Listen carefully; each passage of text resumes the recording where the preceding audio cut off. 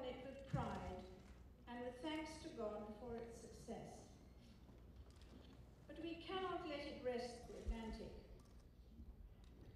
The scale of the operation was unprecedented.